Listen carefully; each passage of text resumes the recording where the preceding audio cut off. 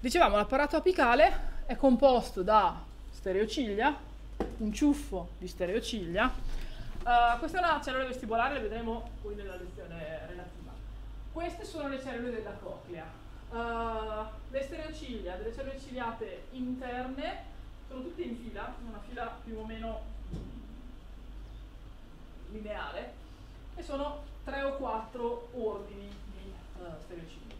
Le cellule filate esterne formano una V o una V, o una v a seconda della, della cellula che uno va a vedere, ci sono entrambe le configurazioni, e anche loro però appunto sono disposte in scala. E questo è estremamente importante perché non so se l'avete già visto, cos'è che mi dà la meccanotrasduzione. I ciuffi di ciglia sono legati da una serie di filamenti di vario tipo, proteici di vario tipo. Tra questi filamenti ce n'è uno che è particolarmente importante, che è questo che viene chiamato filamento apicale o tip link, e il tip link collega solo e soltanto stereociglia di fila adiacenti, quindi quella alta con quella bassa. E questo, questi tip link che cosa sono?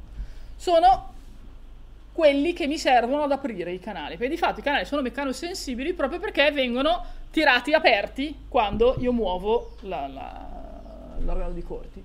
Qua la rappresentazione non è corretta, perché poi da, dal punto di vista molecolare si è visto che non funziona così, però dal punto di vista fisico il primo modello che è stato fatto di questi, di questi filamenti era che fossero delle molle.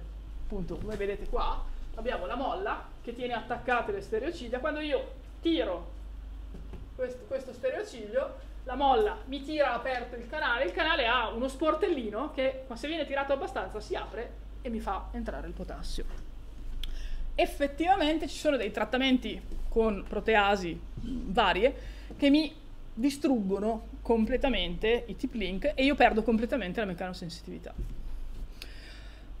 Uh,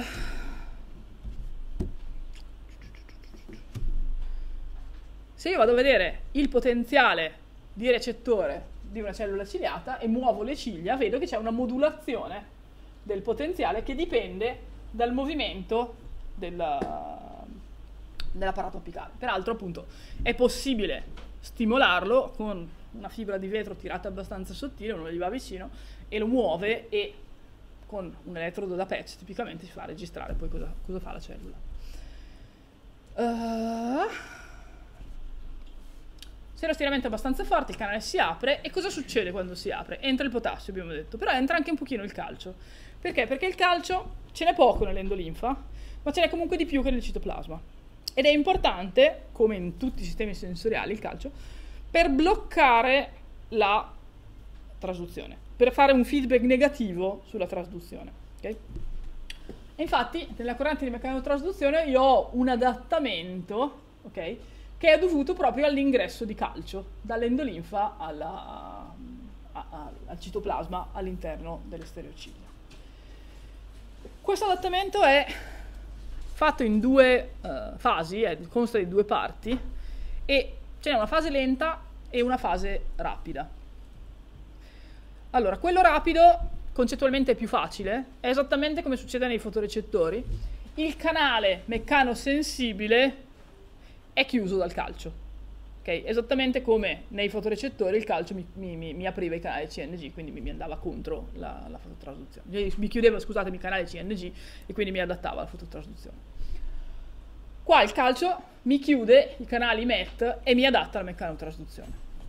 C'è un altro meccanismo di adattamento che è più lento e che coinvolge una miosina.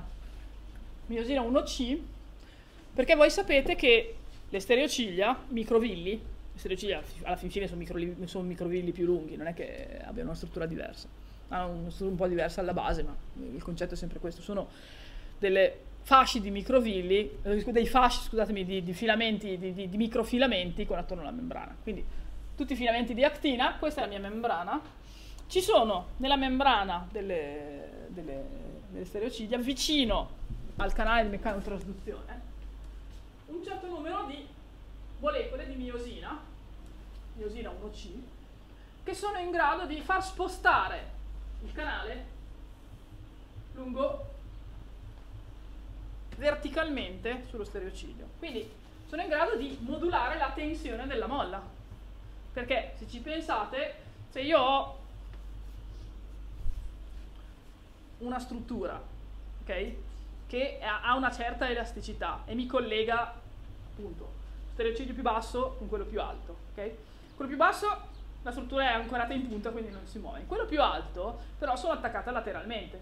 Per cui se devo aumentare la tensione cosa faccio? Vado in su e quindi lo tiro di più. Se devo ridurre la tensione vado, mi sposto verso il basso e affloscio la, la, la molla di, di gating. In questo modo io modulo la tensione meccanica che viene applicata al canale e quindi la sua probabilità di apertura. Questi meccanismi di, di, adattamento però non servono solo e soltanto a spegnere la risposta dopo un po', ma hanno un effetto molto più complesso che è stato scoperto ormai, oddio, 10-15 anni fa, però ha ancora sicuramente tanto da, da, da, spiegare, che è una serie di fenomeni attivi nella meccanotrasduzione. Finita la meccanotrasduzione poi vi lascio. Cosa, cosa vuol dire? Cosa, cosa comporta questa, questa cosa? Allora, guardate un attimo le scale su cui noi stiamo operando. Nanometri, piconewton. Quindi siamo a livello molecolare. ok? Se io ho tutti i canali chiusi, qua, la molla di gating è attaccata al canale, canale è chiuso, quando la molla tira, a un certo punto la gate si apre. Però nel momento in cui la gate si apre, la lunghezza della gate si aggiunge alla lunghezza della molla. Per cui di fatto allunga il filamento e quindi abbassa la tensione. Un po' come il tiro alla fune quando tutti mollano da una parte, ma dall'altra vanno indietro, tutto tira molto rapidamente. Esattamente lo stesso meccanismo. Qua, quindi, se io vado a fare una curva forza spostamento del mio ciuffo di ciglia, non ho una curva lineare, proprio perché nel momento in cui il canale si apre mi cambia la lunghezza della molla. Quindi quando tutti i canali sono chiusi ho una parte lineare della curva. Quando tutti i canali sono aperti ho ancora una volta una parte lineare della curva. Nel mezzo ho una parte a cosiddetta complianza negativa. Cosa vuol dire complianza negativa? Vuol dire che paradossalmente invece di dover applicare la forza per farlo aprire, è lui intanto che si apre che applica della forza al sistema. Okay? Questo è alla base della possibilità di sintonizzare in frequenza il movimento meccanico.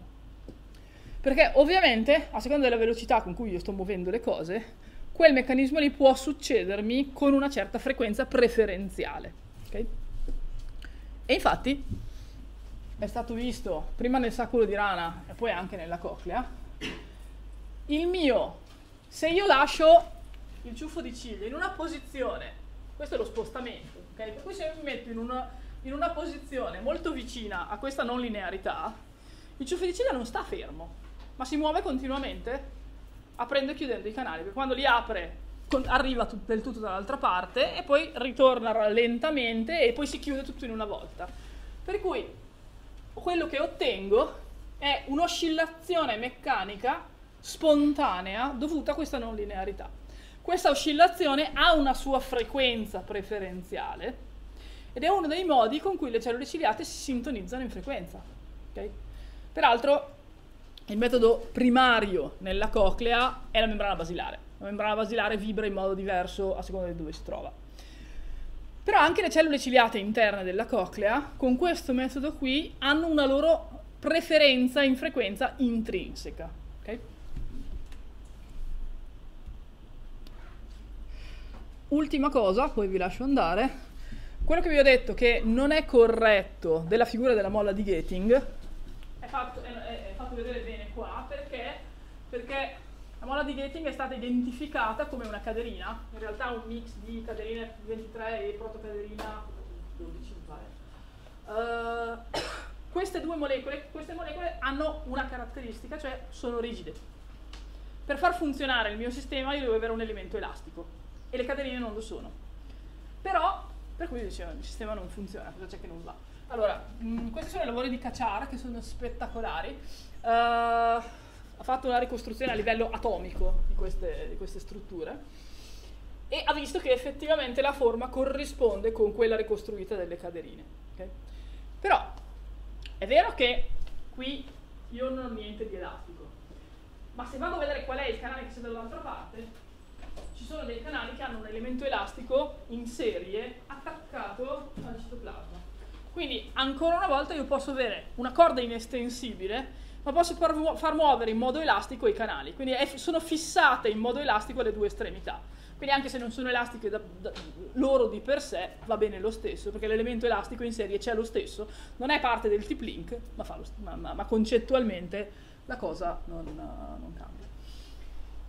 Quale sia il canale di meccanotrasduzione è ancora un po', un po in, in, in, forse, nel senso che di candidati ce ne sono diversi, canali TRP, canali CNG, canali HCN, i canali TRP sono i più interessanti perché appunto diversi di questi canali hanno questi domini di ancorina che sono in grado di fare da elemento elastico, per cui sono i candidati diciamo più, eh, più gettonati.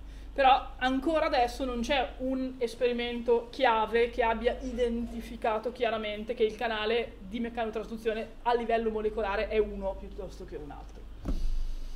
E con questo ci fermiamo alle stereociglia e andiamo giù nel, nel resto del, del sistema acustico la prossima volta.